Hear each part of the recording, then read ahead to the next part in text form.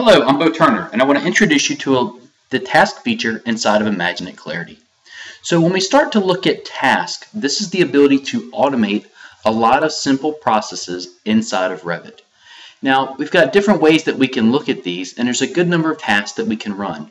For example, we've got this list here, and includes everything from backing up the project to creating DGN files, DWF files, DWG, family image export, FBX, DBXML, and so many more.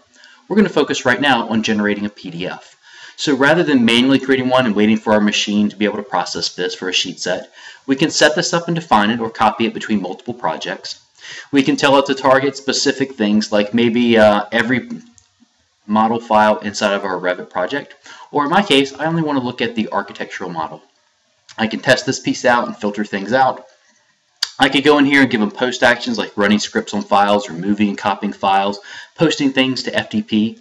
I can make it launchable and the drop down at the very top like you see.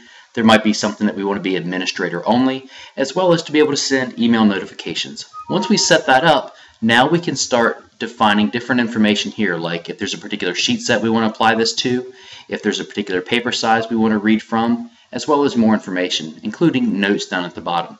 Now notes is a spot where I might want to put something like created by, created on, or why something was created. So more for future reference. And then there's a frequency. It can be on demand, just whenever you need to be able to pick that.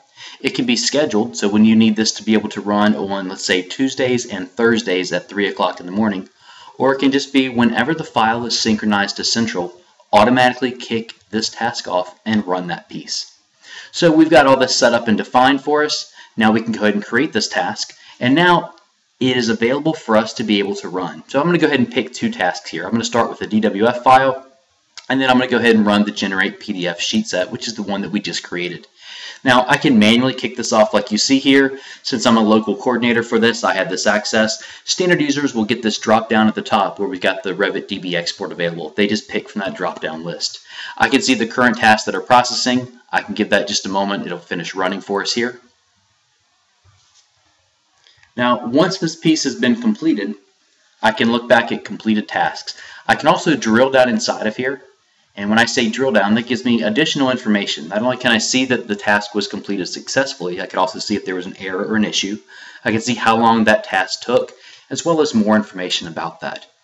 Of course, during the entire process as this is happening, once I've generated these files, I have the ability not just to create those or copy them to other locations, but I can also view the generated information right inside of the Clarity environment. So if I've got a consultant or an owner or someone else who wants to be able to view this, they can see that. And of course, I also get email notifications giving me more information about that task.